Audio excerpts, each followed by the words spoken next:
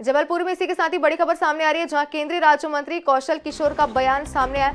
राहुल गांधी भारत जोड़ो यात्रा से पहले करे कांग्रेस जोड़ो यात्रा, अपने बयान में उन्होंने कहा है। आगे उन्होंने कहा देश को सबसे ज़्यादा नशे से बचाने की ज़रूरत है। जितनी जाने आज़ादी की लड़ाई में नहीं गई, उससे ज़्यादा जान हर साल नशे की वजह से जाती है।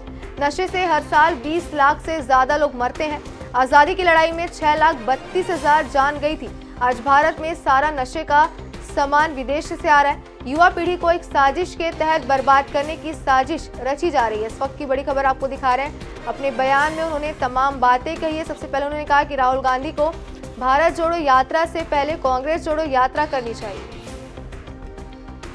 कर लिए सर है बाहर तीन लोग कर देंगे अंदर तीन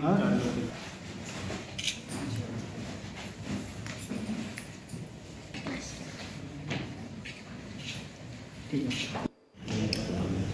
लोग हैं। घर को भी आप कर लिए सर है बाहर लगे